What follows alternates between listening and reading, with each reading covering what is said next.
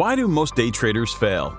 Most day traders fail because of the absence of control, lack of knowledge, and inappropriate risk management. Day trading is a lose-lose situation, hence, for you to win, another person must lose, and the other way around. Often that other person is a PC program which has an enormous amount of memory and speed advantage. People can never navigate past the speed, nimbleness, or time taken by these programs to handle data.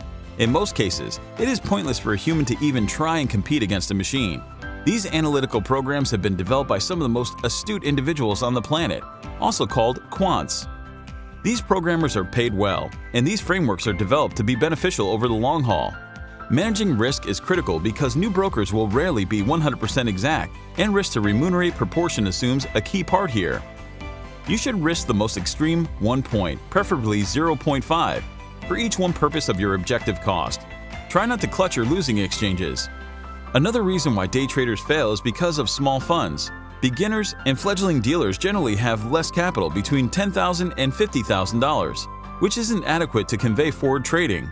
So they trade for intraday with merchant presentations, without short-term risk. This is another regular explanation based on numerous brokers feeling that they would prefer not to face it for the time being challenge. They assume they don't have a clue as to what will happen tomorrow, so whether it's a benefit or misfortune, they will clear their position today and will do a crisp exchange tomorrow.